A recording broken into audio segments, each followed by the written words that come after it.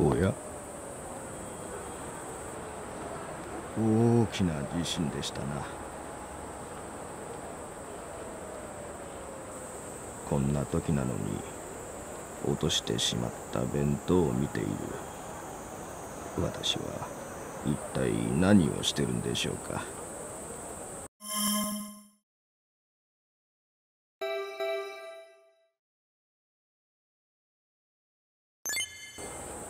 そうですよ。大きな地震が起きてるのに。確かに。こんな時に私は公園でぼーっとしている。全く緊張感がない。こんな時になんですがちょっと座りませんか？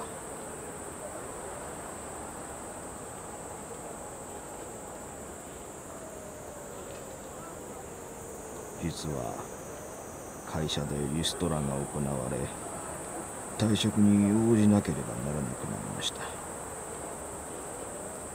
家族に打ち明けることができず出勤するふりをして毎朝家を出ます。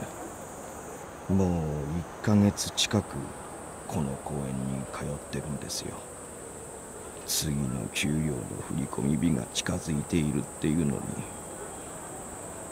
うすればいいんだろう。そんな彼の姿を見て僕は